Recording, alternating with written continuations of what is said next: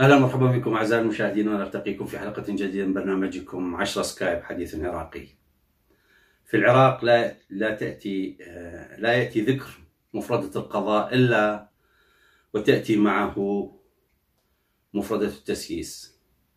مثل ما هو معلوم لا يمكن أن تأتي مفردة التسييس ومفردة القضاء على سطح واحد، إذا ما جاءت مفردة التسييس ومفردة القضاء على سطح واحد فقد القضاء أهم صفتين صفة الاستقلالية وصفة الحيادية. في العراق هذا هو الذي يحصل. والتسييس بمعناه العام إضفاء آه، صفة سياسية على موقف معين ليس له بالأصل هذه الصفة. وتسييس القضاء من أبرز مسببات الأحكام الجائرة للقضاء والعدالة خدمة لأغراض السلطات التنفيذية. طبعا السلطات التنفيذية هذه هي أحزاب وقوى وفي العراق. كل قوى العملية السياسية هي سلطة تنفيذية بما فيها الميليشيات وهي على رأس هذه يعني القوى التنفيذية السلطة التنفيذية. فينفذ القضاء بعد أن يسيس آه، ينفذ ما تريده هذه الطبقة السياسية ينفذ ما تريده الطبقة التنفيذية أو أو ال السلطات التنفيذية. نتيجة ضغوط طبعا آه، أو انتماء لها انتماء لجهة معينة منها أو الاستفادة منها أو قناعة بمنهجها.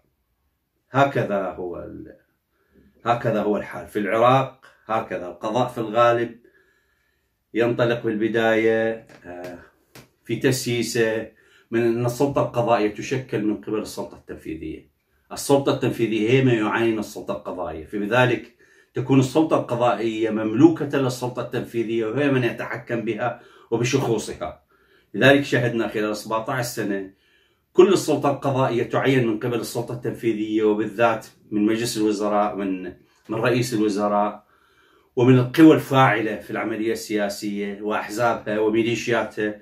وبالتالي لا تستطيع أن تحيد عن الدرب أو الإطار الذي تريده هذه القوى. ولذلك شهدنا ربما عشرات الآلاف أو مئات الآلاف من القضايا التي أحيلت للقضاء و, و آه، يعني جرت فيها محاكمات بالتالي كانت الأحكام فيها جائرة حقيقة وغير حقيقية. اعتمدت على شهادات مزورة على اعترافات جاءت من التعذيب على ادعاءات معينة على مخبرين سريين ونفذت مئات بل آلاف عشرات الآلاف من أحكام الإعدام. على أناس ربما يكونوا أبرياء. وبالتالي القضاء مسيس بطريقة غريبة عجيبة في العراق. والحقيقة صار هذا واضحا. يعني وكانت الناس كلها تطالب بوجود قضاء مستقل محايد غير منحاز لجهة. لأن الضمانة الأساسية للمواطن هو القانون. المواطن في مواجهة السلطات لا يتكئ إلا على القانون لا يتكئ إلا على القضاء. إذا ما كان القضاء في ظهره وكان القضاء نزيها وحياديا ومستقلا سيكون المواطن في مأمن من قدرة أي سلطة استبدادية على إرغامه على شيء أو على ظلمه. لكن هذا في العراق آه، غير حادث لا يحدث الحقيقة. والناس آه، يعني تذهب إلى القضاء فتنال احكاما ليست حقيقية. لذلك كثير من المواطنين عندما وجد القضاء بهذا الشكل راح يبحث عن سلطات أخرى يحتمي بها. فاحتمى بالعشيرة فاحتمى بالمحلة احتمى بالأحزاب احتمى بقوة احتمى بميليشيات وعصابات لكي تحميه وترد لدي له حقوقه. لم يذهب إلى القضاء لأن ساحات القضاء فيها مشكلة كبيرة الحقيقة. المواطن يعني عندما تجرد من سلاح القانون يصبح أعزل ويضطر إلى حيازه سلاح آخر. هذا هو الحقيقة. وهذا السلاح الآخر هو عصابات ميليشيات آه، فئات معينة عشائر وهكذا. وبالتالي المجتمع يتفتت ويصبح كله بحاجة إلى آه، آه، ليس بحاجة لكن في ظل مظلات كثيرة تحمي هذه الأفراد بعيدا عن القانون يبقى القانون مسيس لصالح جهات معينة. القضاء يجب أن يكون قويا. هذه هذه هذه يعني من النقاط المهمة والتي تعتمد عليها كل الدول.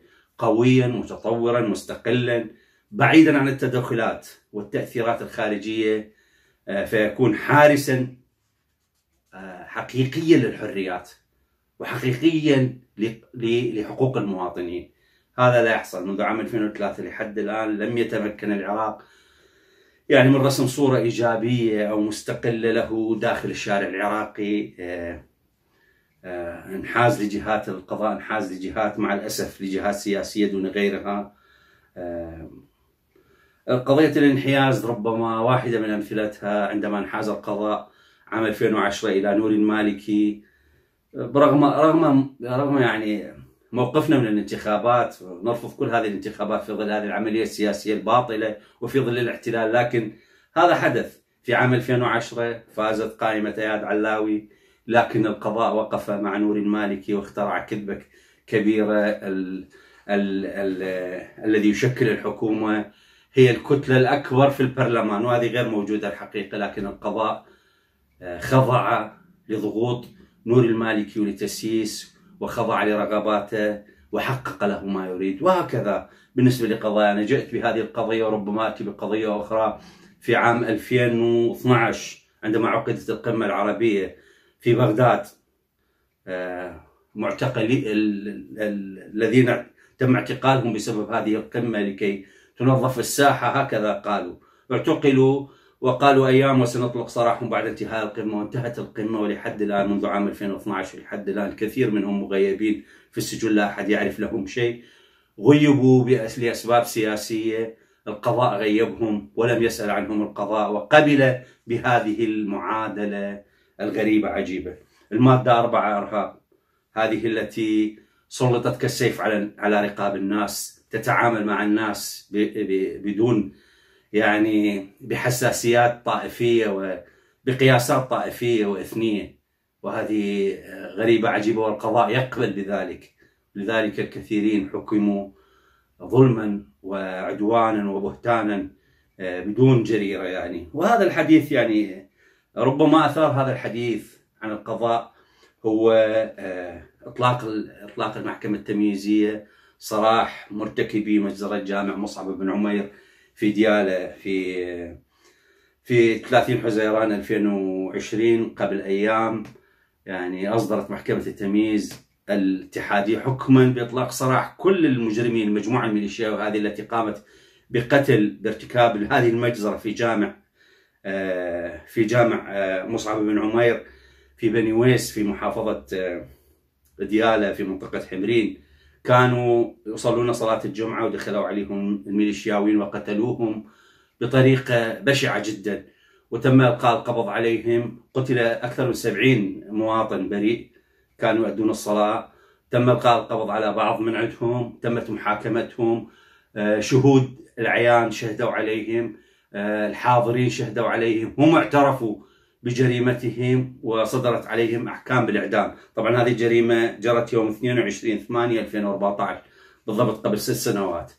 ولكن في آه، في 13 4 2015 أصدرت محكمة جناية الرصافه حكما بإعدام البعض من عندهم، لكن بعد ذلك محاكم كثيرة قللت هذه الأحكام آه، استثنت البعض من عندهم أخرجت البعض منهم وصولا إلى محكمة التمييز الاتحادية التي أخرجتهم تبعا لضغوطات الميليشيات والانتماءاتها ولمصالحها. فبذلك حقق القضاء آه، هذا هذا الشرط الغريب العجيب في في آه، في أن يأتي بالتسييس تأتي مفردة التسييس والقضاء على سطح واحد وبذلك يسيس القضاء بهذا. ماذا يعني غير التسييس غير التسييس؟ أن تطلق أن يطلق سراح مجرمين بهذا الشكل بهذه الطريقة تبعا لضغوطات ومطالب آه، قيادات ميليشياوية هذه هذه هذه الحقيقة هي اللي جعلت القضاء في العراق قضاء غير نزيها مع الأسف الشديد وهو القضاء المعروف كان بنزاهته وبقوته وبأنه سند المواطن وكان المواطن دائما ما يذهب إلى ساحة القضاء. هذه الحقيقة آه، آه، كل هذه هذه القضية ربما فضحت كل الأحكام التي صدرت بحق بحق العراقي منذ عام 2003 لحد الآن كلها الآن مشكك بها كلها الآن من المفروض إعادة دراستها واعاده إعادة إعادة المحاكمة مرة أخرى، إعادة القضايا إلى القضاء مرة أخرى، ومع الأسف كثيرين ذهبوا إعداما قتلوا وذهبوا في يعني في غياهب النسيان جراء ساحات القضاء هذه، مع الأسف الشديد القضاء العراقي كان قضاء كالسيف الآن هو قضاء سيف لكن بيد الميليشيات وبيد السلطة التنفيذية مع الأسف الشديد، هذا ما يسمح به الوقت، أترككم بخير والسلام عليكم.